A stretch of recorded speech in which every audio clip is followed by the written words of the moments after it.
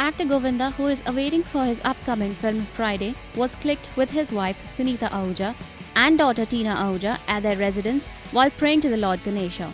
Also spotted attending the puja at Govinda's place was Fukre actor Varun Sharma, who will be seen in lead opposite Govinda in the film.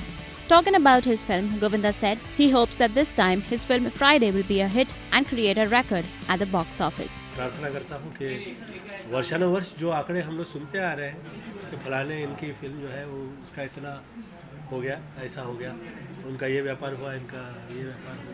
ये बहुत समय से हम लोग सुनते आ रहे हैं।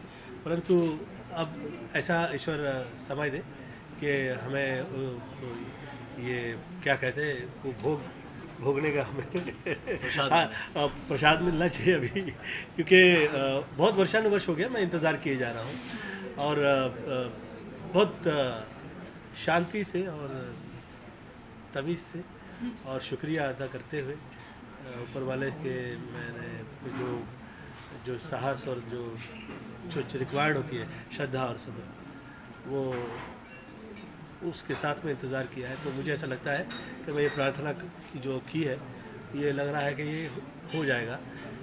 मैंने फ़िल्म देखी है और मैं अभिषेक डोगरा जी, वरुण शर्मा, दिगंगना प्रवलीन विजेंद्र काले जो जो आर्टिस्ट साथ में काम कर रहे हैं और आदरणीय साजिद कुरैशी, आप सभी लोगों का धन्यवाद देता हूँ। और मुझे लगता है कि जो लोग मेरी एंटरटेनिंग फ़िल्म देखना चाह रहे थे तो साथ साथ में वो- चाह रहे थे कि गोविंदा थोड़ा डिफरेंट लगे, आज का लगे।